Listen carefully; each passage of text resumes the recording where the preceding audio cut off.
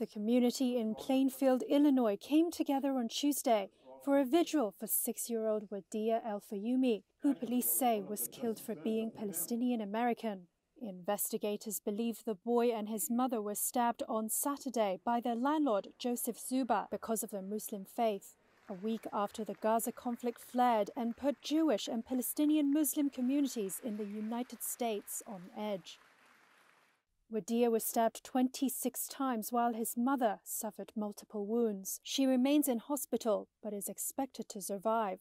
Mahmoud Yosef, Wadea's great uncle, said he was overwhelmed by the whole community response. I'm overwhelmed because we thought we are going to come here to see a Muslim community. But what I saw here is surprising me, and thank you.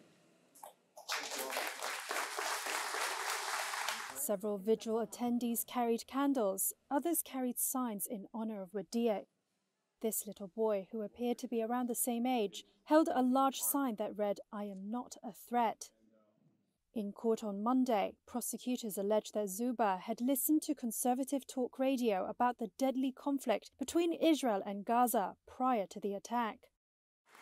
Civil rights group NAACP member Michael Childress is among those who attended the vigil. I, I don't understand the hatred that we have inside of us that and I just needed to come out and, and express the fact that we stand with all our Muslim brothers, we stand with our, our uh, Jewish brothers, you know, we stand with everybody. Biden's administration sent a representative to attend the vigil. Muslim supporting a Zionist!